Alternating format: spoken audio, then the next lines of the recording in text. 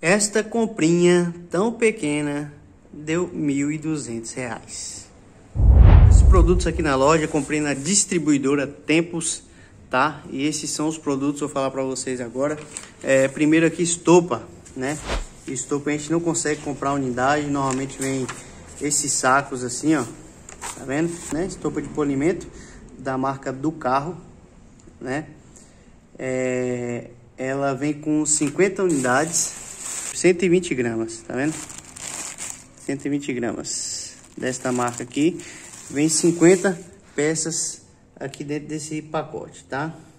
É, tá saindo em média de 2,30 cada estopinha dessa, tá? Aí comprei também torneira da F com bico para mangueira. Essa aqui, ó.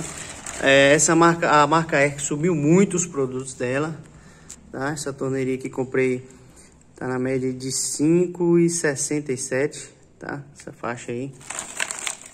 É, chegou também tomada, tomada simples. Gosto muito dessa marca aqui, a Ilume, tá? Uma marca boa. Vem essa caixa aqui com 25 peças, tá? Na Tempos só consegue comprar tomada é, caixa fechada com 25 peças, tá? Só que ela tem um preço muito bom de tomadas, tá? O preço da Ilume da Tempos é bom. Já na Bartofil consigo comprar a unidade, só que o, aumenta um pouquinho o valor, certo? É, caixa sifonada, pedi só duas, porque eu tenho aqui na loja.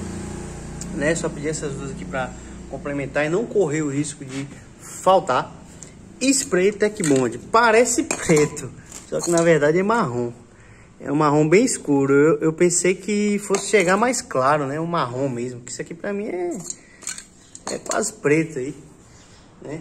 Nem, nem parece ser marrom não. Olhando assim parece ser preto mesmo.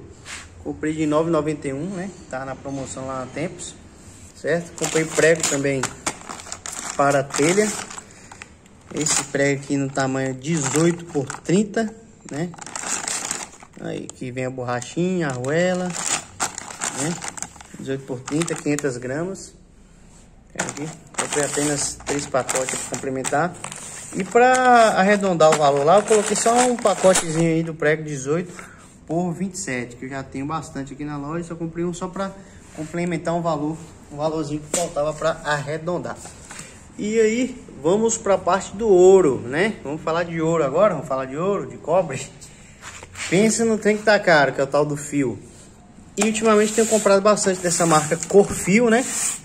Que apareceu aí no mercado é, logo quando entrou a pandemia.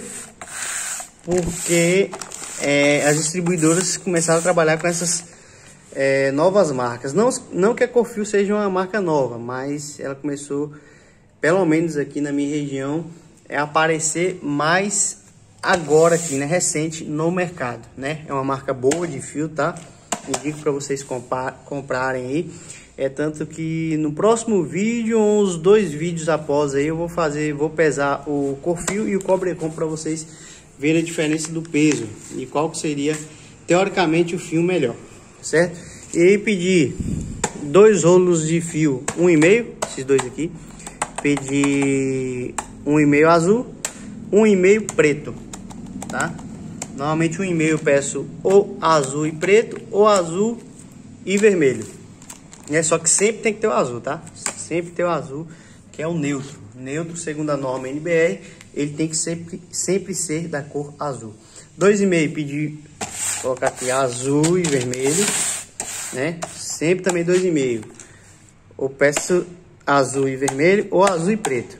Sempre manter o azul, tá? Sempre peço azul, que é azul, segundo a norma, a norma NBR, tem que ser o neutro, tem que ser neutro de cor azul. E o fase pode ser vermelho, preto, amarelo, tá? Só o neutro aí que tem que obedecer a cor e o terra também, o aterramento também tem que obedecer a cor verde, que eu já tenho aqui na loja também tá? E pedi o fio 4 milímetros da cor azul, que eu já tenho vermelho, né? Normalmente peço também azul e vermelho ou azul e preto, fio 4 milímetros, beleza? Então essa foi a compra de hoje aí, tá? Tá aí a compra que eu fiz, bem pequenininha, chegou, chegou rápido aí pela Tempos, beleza, gente? Então já se inscreve nesse canal, toda vez que chegar um produto eu vou fazer um videozinho aí dê seu like e até o próximo vídeo. Tchau, tchau!